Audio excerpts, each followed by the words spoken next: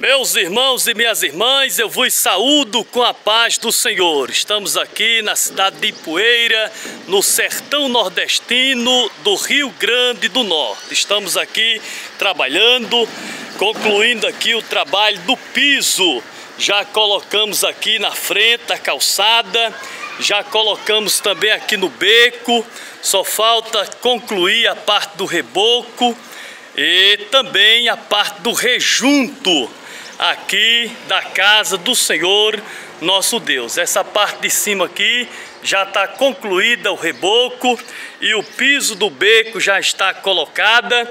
E aqui na frente também estamos colocando, só falta a gente colocar os rodapé para dar o estoque final da parte do piso. Já colocamos em todo o interior do templo, na secretaria também, aqui nesse outro corredor já colocamos também, só falta os rodapé e fazer o rejunto. Essa parte aqui já concluímos o reboco da parte de cima do templo também.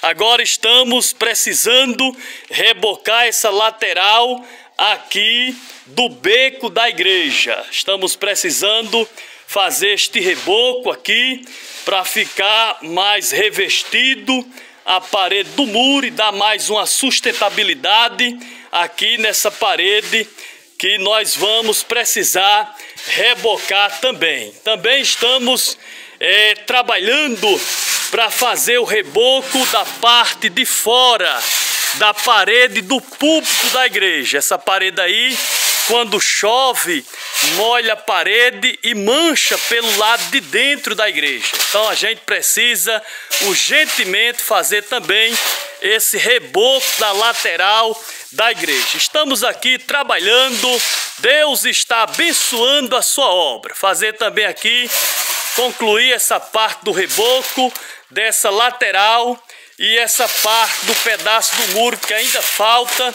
para a gente poder fazer a pintura geral e fazermos a reinauguração do templo. Foi feito secretaria, foi feito beco, corredor, foi feito piso, contrapiso, vai ser ampliado todo o tempo. Foi aumentado na altura, aumentado no comprimento, e aí vamos fazer uma grande reinauguração para a honra e a glória do nome do Senhor. Oreis por nós, que também estamos orando por cada um dos irmãos e das irmãs. A paz do Senhor.